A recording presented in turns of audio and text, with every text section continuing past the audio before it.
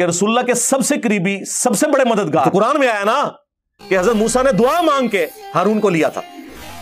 इस लेवल का रसुल्ला का कोई साथी था तो सिर्फ़ एक था, अली नबी तालिब रदी अल्लाह तला और दूसरा फरमाया, मगर मेरे बाद कोई नबी नहीं, यानी खत्म नबूत हो गई है।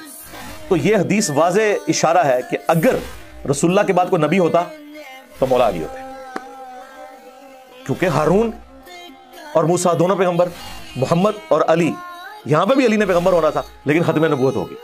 लिहाजा यह हदीस खत्म नबूत के ऊपर भी पैरा देती है कि यह गुलाम अहमद कादियानी दज्जाल ने और उसके मानने वालों ने जो झूठी नबूत क्लेम की है तो हम पूछते हैं कि अगर उम्मती नबी कोई स्टेटस था तो इस उम्मत में अगर किसी शख्स को हासिल हो सकता था तो मौला अली थे।